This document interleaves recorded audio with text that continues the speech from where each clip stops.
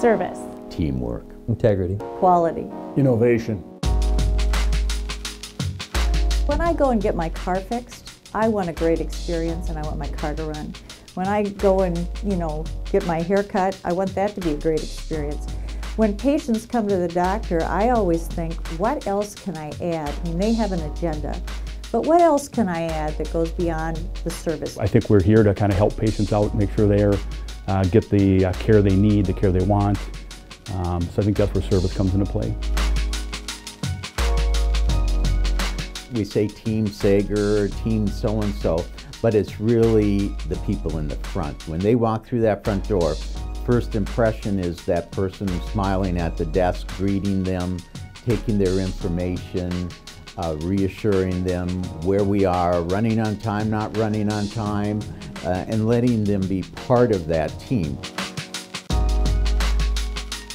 Integrity to me means doing the right thing even though nobody is looking. It's making sure that you take care of every little detail. We always want to do what's the best for the patient. And that's not always the most convenient or the easiest, but I think as long as you're always thinking first, you know, what would I do if it was my mom? What would I do if it was my kid? I think you make the right decisions.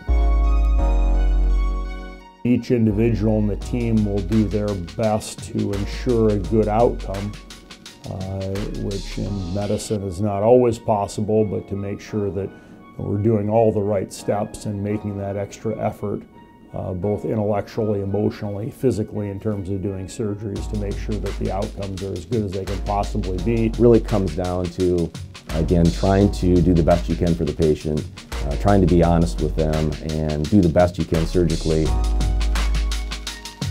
The most important thing is to make sure that you're doing the best you possibly can to stay on top of technology and innovation so your patient's going to have the best possible outcome now and in the future.